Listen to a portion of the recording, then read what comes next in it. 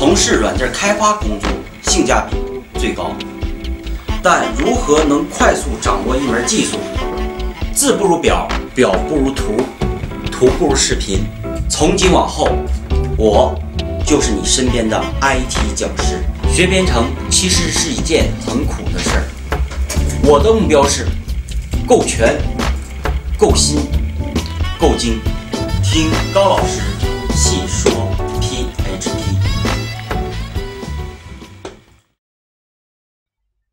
我是修炼的讲师高洛峰。大家好，我是妹子。嗯妹子，呃，上节上一小节呢，咱们介绍了什么是变量，对吧？那这节课呢，我们就来看一下程序的语法变量的声明。学任何一门语言之前，那变量是必须学的，对吧？所以呢，这个呢，大家有可能说，呃，有的刚接触程序的，有可能说对它理解有些非，有一些怎么呢，不太深刻，对不对？但是呢，像咱们前面讲基础知识的时候，都会遇到这样的问题。这个东西呢，理解的不太透彻，对吧？但是呢，这个东西是天天用的东西，就算你现在理解不透彻，那随跟随着咱们的课程的学习，后边这些东西都会非常熟悉的，对吧？就像你刚开始学数数的时候，一二三四五六七八九十，或者像刚学字母一样，对不对？啊，那这些都是最基本的、最底层的一个原子性的一个元素了啊。后期呢，比如说现在你对数字、你对字母肯定都是非常熟悉的。嗯，咱学基本的语法都是这样的。那我们就看一下变量该如何声明。那我们呃打开我们的程序的目录，这是我们上节课写的程序，对吧？咱们看一下变量的语法。如果和其他语言对比来学的话，其他语言呢学变量之前要先学类型，就是一个容器它是有类型的，清楚这点吧？对吧？比如说就像。呃，人类的男人、女人，这算是类型，对不对？男人、女人，还有泰国人，嗯，那个呃，或者是比如说，就拿男朋友是一个变量，对不对？也有类型的，是帅哥型的，对吧？还是那种呃青春型的，还是那种就高富帅，还是那种呃什么个高个矮的，对不对？什么活泼型的或者什么类型的，任何数据都是有类型这一说的。那在其他语言里边呢，变量就必须得干嘛呀？先确定这个变量的类型，然后才确定这个变量。确定好类型之后，这变量就能装这个类型的数据，听懂吧？类型呢咱们后边呢会介绍，但是咱们先学变量的声明，对吧？那对于 PHP 来说呢，它是弱类型的，所以呢，你不用声明它是什么类型的，直接写变量名就行了。比如说声明一个人的名字，那我们直接就 name 等于什么，对不对？但是呢，这个你感觉会比较奇怪，它也没变颜色，对不对？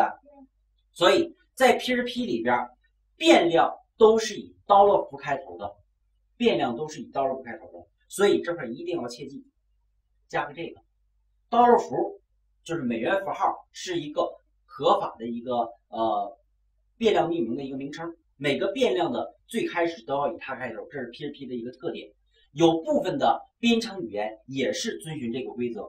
但是呢，大家常见的一些呃语言，比如像 C 语言、Java 语言、C 加加之类的，像这样的语言里边，有类型声明的那种强类型语言里边是不加刀乐符的。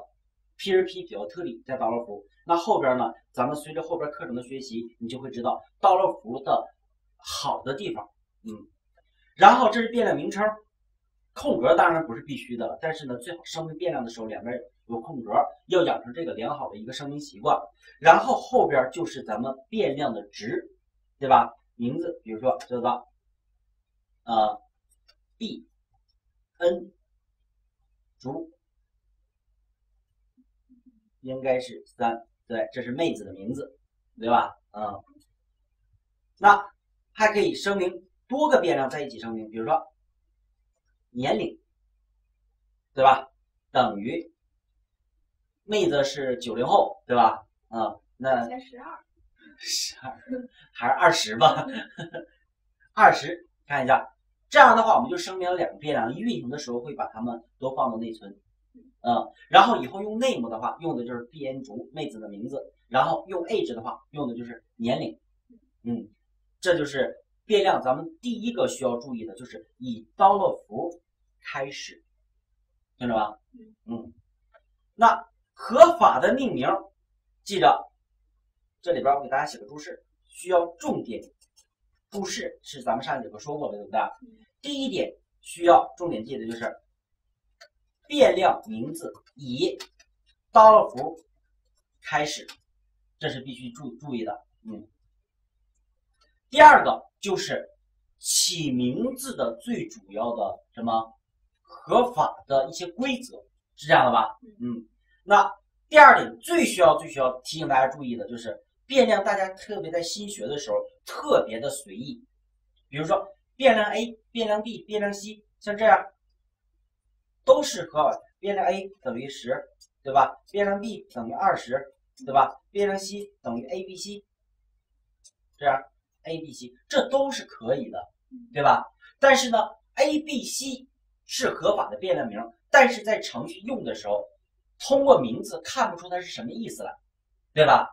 如果你声明，比如咱不说太多，比如说十个 a、b、c、d、e、f，对吧？咱们写程序代码呢，在这一屏上边会显示，比如说几十行代码、几百行代码，对不对？你在后边遇到变量，比如说变量 w。你就不知道这个 W 代表的是什么容器了，对吧？那你还得回过来仔细分析你代码，再确定一下啊，W 代表的是什么？代表是卫生间的意思，WC 嘛，对不对？嗯，等等等等。所以呢，没有什么意义的变量名，尽量在程序里边要避开，听懂吗？所以咱们这块记住，变量的名称声明时。一定要有，要有意义，这一点是特别重要的。那比如说像上边这两个变量名就比较有意义，name 就是人的名字，age 就是年龄，对不对？那什么时候，哪怕代码占几屏，我拖拖动滚动条的时候，比如说拖动滚动条的时候，上面变量已经看不到了。假如说我想获取妹子的年龄，对吧？输入 dollar for age，我也知道，听着吧？这就是有意义命名的一个好处。嗯，这点，呃，清楚了吧？嗯，这是第二个咱们需要注意的一个。第三个，那既然有意义的命名，那么咱们就要杜绝一切拼音和拼音的缩写。好多人呢，新手对英文不好的话，经常用拼音去命名，对吧？那合法的变量名都有什么呢？记住一点，变量名最主要的是不能以数字开头。合法的变量名很多了，对不对？咱们先说几个不合法的，就不允许这样命名的一些东西，对不对？那其他是不是就都允许啊？对吧？那最主要的是什么不合法的变量名，对不对？有哪些呢？第一个就是不能以数字开头。那不能以数字开头，但是数字能不能在变量的中间和变量的结尾呢？这是可以的。这是可以的啊，只要不以它开头就行。比如说这样，声明一个 dollar 符，比如说七百等于七百。假如说我这么声明，对不对？BAI 是合法的，但是以七开头就不行了，听懂吗？嗯，像这样的变量名就可以了，比如说百七，对不对？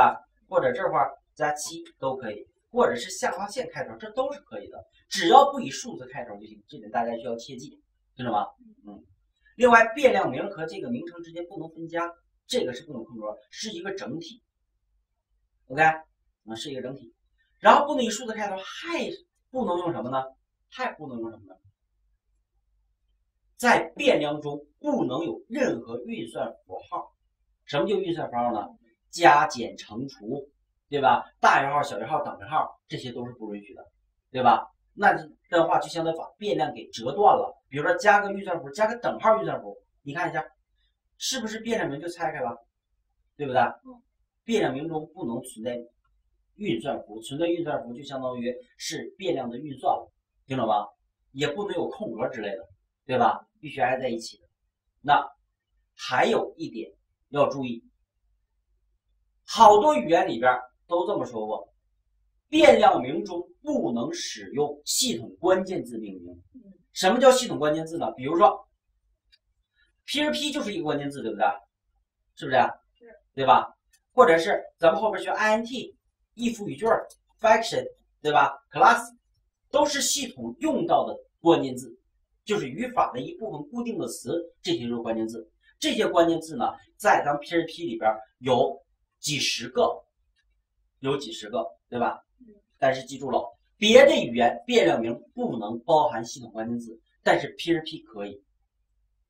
PHP 可以，因为什么？PHP 它也多了一个 dollar 符呢。比如说，if 是一个关键字，对不对？你看变量词系统关键字，但是我加上 dollar 符，对吧？所以它的变量名是 dollar 符 if，不是单纯的 if。所以呢，所有的系统关键字是可以用什么在 PHP 里命名的。所以这块需要注意啊，这块加个括号，关键字。是可以作为 PHP 的变量名称使用，是这样可以，不能以数字开头，然后不能有不能有运算符号，这些其他都是合法的变量名，听着吧？嗯，这是变量的呃这几个特点，变量声明的几个特点。第四个最主要的什么？变量名称，记住了，区分大小写。变量名称是严格区分大小写的。那有的时候，那变量区分大小写，这个你为什么重点说呀？那语言不都是区分大小写的吗？不一样。如果你是学西语言，你是学 Java，学其他的语言，通通区分大小写，只要你写出来的字符都是区分大小写的，清楚吗？啊，但是 P R P 不一样。，P R P 只有部分区分大小写，其中变量名就属于它其中的一个。变量名、常量名，像这样的东西是区分大小写的，其他的所有的 P R P 的语法上都是不区分大小写的。比如说，我这块声明一个 int 等于十，这是小写，对不对？我再声明一个 dollar 符 int 等于二十，对吧？然后我分别输出一下这个。输出一个 dollar 符 int 逗号关下行，后边我再说这个语法，然后再输出 dollar 符大写 int，看一下，如果是不区分大小写的程序里边，那这个二十会把原来的那个十给覆盖掉，对不对？对。但是如果是区分大小写的系统里边，那这是不是就两个变量？嗯，好，这一点是刚学的时候一定要注意的，十和二十。说明后边没把前面覆盖，说明是什么？区分大小写的。但是其他的程序是不区分的，比如说这个 echo，对吧这是比其他部分区分的。你看这是小写，我这块用 e c h o 小写，对吧？是不是有大小写不同啊？那这个可不可以出来呢？看一下，一样是十和二十。所以呢，其他是不区分大小写的。所以大家需要记的是，变量名是区分大小写的。那变量名区分大小写。那命名的时候呢，一般的咱们都使用什么？一般的咱们说了，像咱们说第二点，变量名称是不是声明是一定要有意义啊？对不对？那有意义，一般的呢，对于咱们中文的一个声明一个容器名称的话，有可能一个单词表达不了意思，对吧？有可能得用多个单词，那么咱们要采用驼峰式命名法，驼峰式命名方式。这样的话，你就好记了。什么叫驼峰式命名呢？就是如果一个变量名由多个单词组成的，由多个单词组成的，那记住规则：变量名中第一个单词小写，以后的每个单词首字母大写。你只要记住一个固定的规律，那你就任何情况下在使用变量名的时候都不会在大小写上出现问题。如果没有规律的话，你就不知道什么该大写，什么该小写，对不对？使用的时候得反复的确认哪个是大写，哪个是小写的。如果都有一个统一的命名的一个规范，记着是规范，不是语法强制规定的。你全小写可以，全大写也可以，听着吧？嗯，一般的规范就是驼峰式命名。对于变量的驼峰式命名，就是第一个单词全小写。比如说有 one、two、three 三个单词组成，对不对？那变量名应该 dollar for one t w t h r e three，你看这样的命名，所有的变量命名如果都是这样的话，是不是就好记了，对吧？啊，就不会出错了。所以记住变量名，记住区分大小写。嗯，另外变量可以怎么的？我们可以像咱们课件写的一样，可以连续声明。我们看一下课件啊，看一下，这是咱们对变量的一些呃介绍，前面已经说过了。看这块儿，前面可以附上各种类型。你看，变量可以将多个变量同时赋一个值，可以这种连着写，可以连着写。那我们来看一下怎么个连着写法。那我现在就呃随意命名一下了啊，就不是说非得一定有意义。讲课的时候，咱们有的时候命名会偏随意，但是真正项目的时候一定有意义啊。这样，比如说，dollar a 等于 dollar b 等于 dollar c 等于 dollar d。等于十，看到了吗？嗯，这样的话相当于一起声明四个变量初始值都附上十，这样，所以我现在这块你看，我分别输出 dollar a，呃，再输出一个低压框啊，复制一下。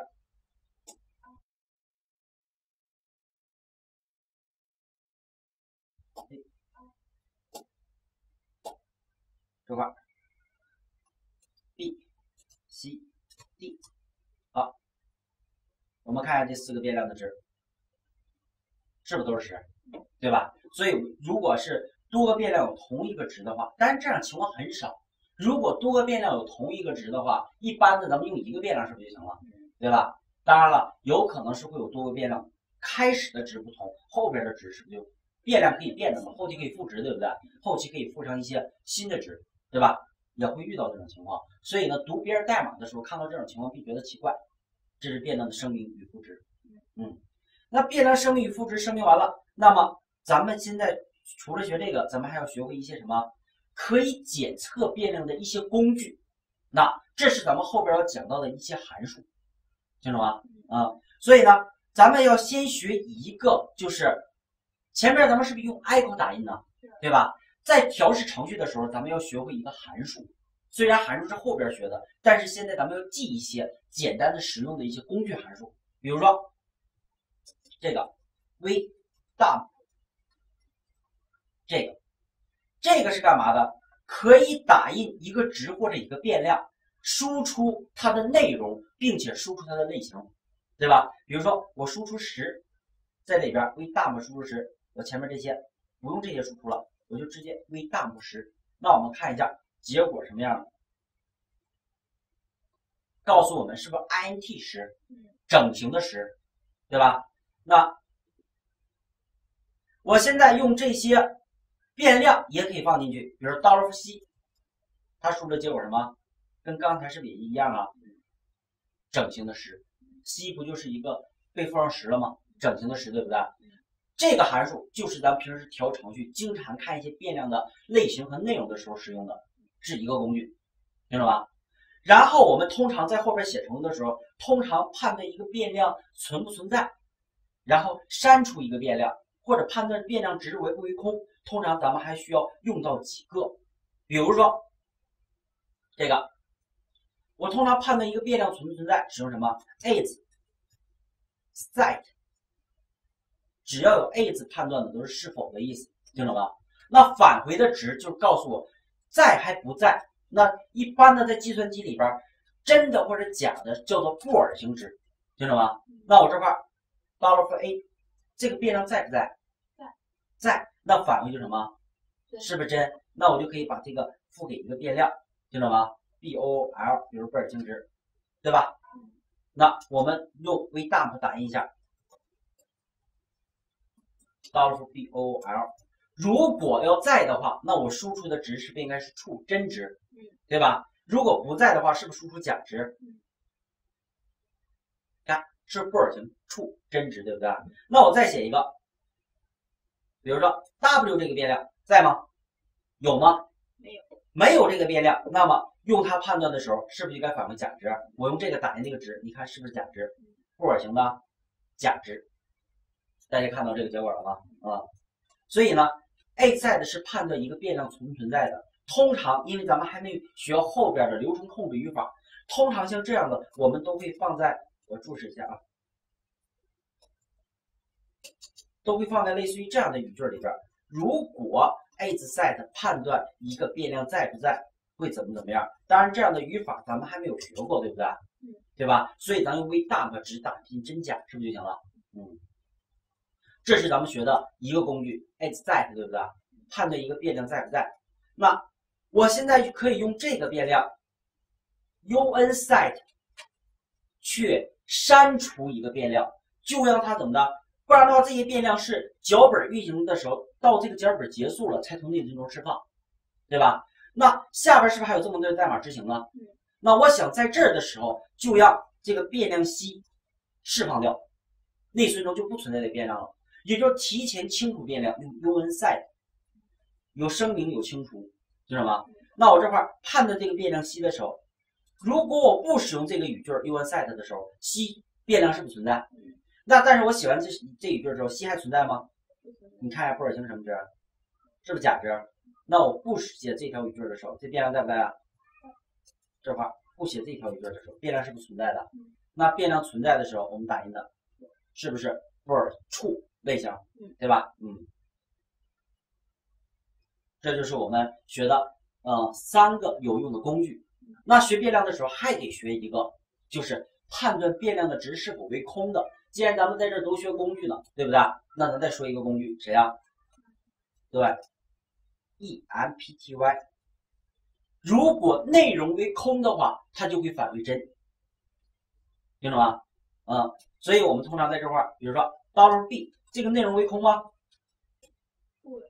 double b o l 或者我直接在这什么 v double 是不是直接可以打印值啊？对吧？直接在外层加一层。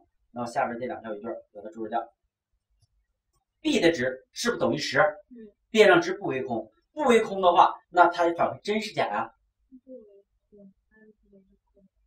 对，它是判断空的时候才返回真，对不对？才是真值。那这个现在不为空，那它现在应该什么？刷新一下，是不是假？那如果这个为空，什么叫为空呢？你看一下，空字符串算不算空？我现在给这四个变量是不是都放上同样的值啊？就相当于给西放上值了，对不对？那算不算空？虽然咱们学字符串，真是空的，对不对？那加空格呢？算不算空？嗯，咱们以实验为主，算不算空啊？对，妹子说对了，里边有个空格，空格是一个合法的字符，听懂吗？所以呢。内容就是空格，所以它不是空，对吧？嗯，那再问妹子，如果我输入是零呢？零不空，它应该是一个数字。看一下，什么？看到了什么？对，零，对，用 unport 判断它是空的，对吧？那 null 呢？肯定是空的了，对不对？嗯。是不是？那我现在判断一个不存在的变量呢？比如说 w，是不是空的呢？对，跟那个 null 是一个作用。w 这个变量不存在，是不是不存在？用它是不是就空的？对吧？嗯。所以呢，这些都是咱们有用的工具。刚才我大家做的实验，大家可以反复多看几次，然后呢，了解一下都什么样的用它判断是空的。OK，嗯。这是嗯四个工具，这里边总结一下，经常用的变量的一个是 empty，一个对不对？一个是 unset，一个还有一个是 isset，我都给你做实验了，都是在后边咱们经常用过的，非常的简单，对吧？只要传一个，它就能处理一个，就这样的，也是后边咱们会介绍的函数。然后还有一个是 VR Sum UMP，专门调程用的，是不是这么几个？嗯，所以这几个呢，大家可以平时做做实验。当然了，后边咱讲过函数的时候，再回来看就是超级简单的了，对不对？但是咱们对于咱们没学到后边知识的时候，你看这个有可能说还会有一定的难度，听懂吧？但是呢，后边呢咱们用的时候，你有点印象就可以了，不用说非得重点记这个。嗯，好，这就是我们呃这节课跟大家介绍的变量的声明和变量的检测。嗯，好。谢谢大家，这节课咱们就到这里。